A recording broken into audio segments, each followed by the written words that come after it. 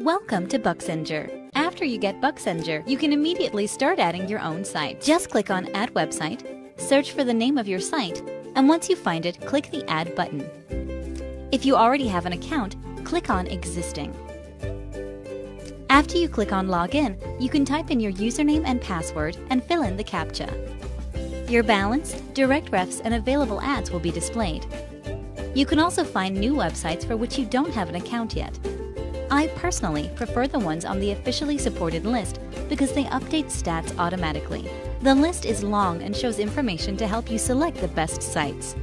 In this case, I'm going to select New Account. Buxenger remembers my details from previous registrations, making it very fast to get new accounts. I just got a new account in less than 5 seconds. I can now log in and start viewing ads. I select my two websites and I then click on View Ads.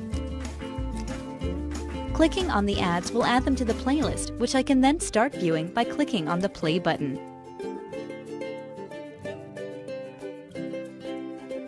After I finish viewing the ad and select the right CAPTCHA, I can click here to view the next ad.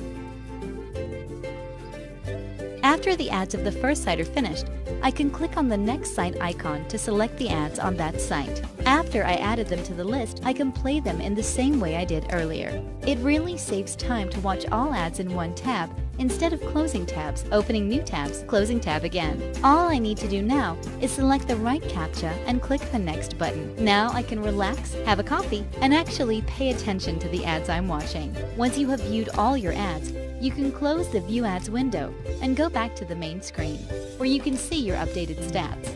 Find out more amazing features and how Buxenger can get you tons of refs at buxenger.com.